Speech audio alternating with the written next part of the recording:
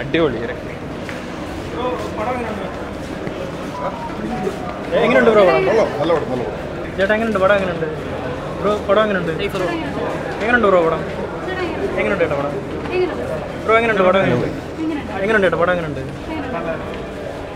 Bro എങ്ങനെയുണ്ട്? പടം എങ്ങനെയുണ്ട്?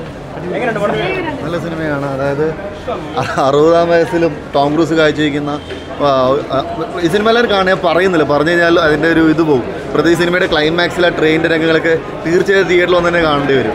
കുറച്ച് സ്കെയറിയാണ് കുറച്ച് കാരണം നമ്മുടെ എന്താന്ന് എ ഐ കാര്യങ്ങൾ വെച്ചിട്ടുണ്ട്. അപ്പോൾ അതിന്റെ അതിന്റെതായ ഒരു ഭയങ്കര ക്ലിഫ് ഹാങ്ങറാണ് എഡ്ജിൽ സീറ്റ് അടിച്ച് പോകുമ്പോഴാണ് ഭയങ്കര ഹൈപ്പ് ബിൽഡപ്പാണ് ഭയങ്കര. ഭയങ്കര ഹൈപ്പ് തന്നെ വരുന്നു നെക്സ്റ്റ് പാട്ട് വരുന്നുണ്ട്.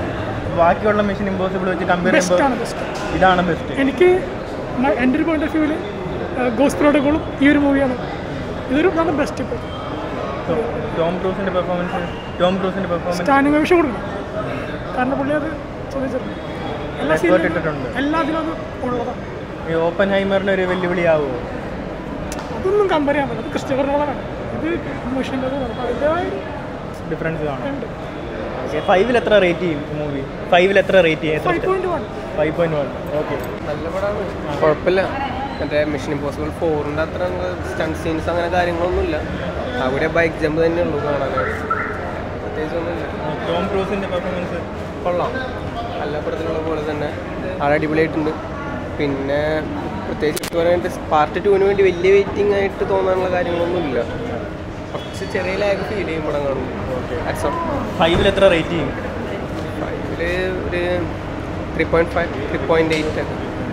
അപ്പോൾ ഈ സിനിമ എന്ന് പറയുന്നത് ഇപ്പോൾ മിഷൻ ഇമ്പോസിബിളിന്റെ ഏഴാമത്തെ ഭാഗം എന്ന് പറയുമ്പോൾ അതിന്റെ പാർട്ട് വൺ ആണ് അപ്പോൾ ഈ സിനിമയ്ക്കകത്ത് ഇപ്പോൾ മറ്റു മിഷൻ ഇമ്പോസിബിൾ മുമ്പത്തെ ഭാഗം വെച്ച് നോക്കുമ്പോൾ ഇതിനകത്തൊരു വില്ലൻ എന്ന് പറയുന്നത് ഇതേവരെ കാണിച്ചിട്ടില്ല. ഇനി ആ വില്ലൻ അതൊരു മനുഷ്യനാണോ അല്ലെങ്കിൽ മറ്റെന്തെങ്കിലും ആണോ എന്നുള്ളത് നിങ്ങളിപ്പോൾ ഈ സിനിമ കണ്ടാൽ മാത്രമേ മനസ്സിലാക്കാൻ പറ്റുള്ളൂ. ഇനിയിപ്പോൾ എടുത്തു പറയേണ്ടത് ടോം ക്രൂസിന്റെ പ്രകടനമാണ്. ഇപ്പോൾ ഈത്തൻ ഹണ്ടിന്റെ യാത്ര.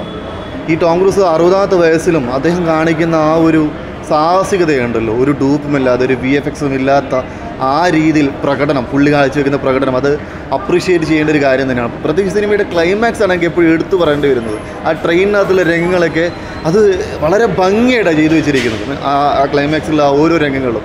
പിന്നെ സിനിമ പൂർത്തിയാവണമെങ്കിൽ ഇതിന്റെ രണ്ടാം ഭാഗം വരേണ്ടിയിരിക്കുന്നു ഇപ്പോൾ ഈ ടോം ക്രൂസ് എന്ന് പറയുന്നത് ഇപ്പോൾ ടോം ക്രൂസ് എന്ന് പറയുന്ന ആൾ പിന്നെ ഡൂപ്പില്ലാതെ അല്ലെങ്കിൽ വി എഫ് എക്സ് ഇല്ലാതെ ഇങ്ങനെ ചെയ്യുന്ന ഒരാളും അപ്പുറത്ത് നമ്മുടെ Christopher Nolan V F X ഒന്നും ഇല്ലാതൊരു സിനിമ ചെയ്യുമ്പോൾ ക്രിസ്റ്റിഫൽ നോളനും ഈ ടോം ക്രൂസും കൂടി ഒരുമിച്ച് എന്താ ഉണ്ടാവുക എന്നുള്ളതാണ് എനിക്ക് ഏറ്റവും കൂടുതൽ അത്ഭുതമായിട്ട് കാണുന്നത്. ഇപ്പോൾ സിനിമയെക്കുറിച്ച് പറയുകയാണെങ്കിൽ സിനിമ എല്ലാവരും തീർച്ചയായിട്ടും കാണുക.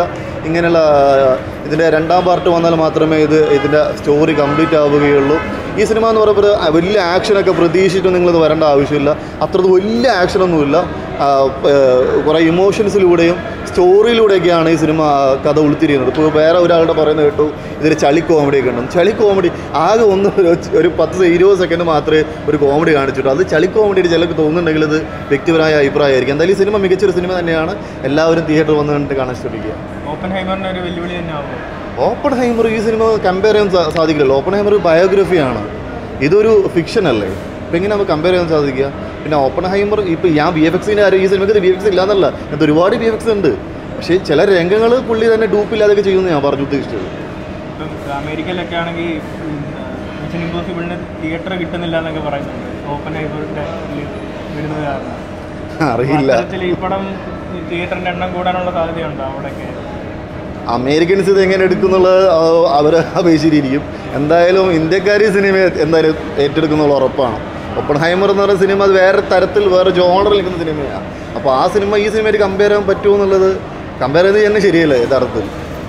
ഫൈവിൽ എത്ര റേറ്റ് ചെയ്യും? ഫൈവിൽ ഫൈവിലൊരു ഫോർ ഓക്കെ